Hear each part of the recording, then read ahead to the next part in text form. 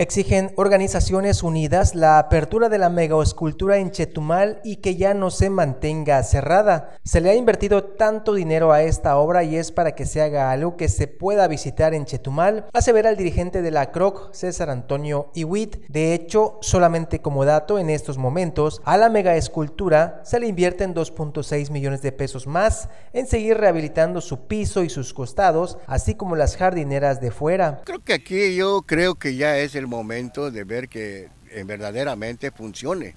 Porque si ya se le metió mucho dinero, yo creo que es el momento de ir viendo que produzca dinero para que pues para recuperar, porque esto es dinero del pueblo y no puede ser así de esa manera. Tenemos que ver la realidad de que ya funcione, que ya que ya no se le siga metiendo dinero, porque cada día se le mete dinero a eso y no hay para resolverse la terminación. Necesitamos prepararnos para todo esto, necesitamos ver que esto funcione porque sería algo que los que nos vengan a visitar de otro país vean cuando menos algo que nos identifique como ciudad Chetumal, como capital del estado. Ya se debe de hacer y ya debemos tener, porque si ya están viniendo y no tenemos ni la preparación del servicio de primer nivel, ni los lugares que podemos pasear a la gente que viene, no se van a quedar aquí, se van a ir a Bacalar, se van a ir a Belice, se van a ir en otros lados. Nada más es un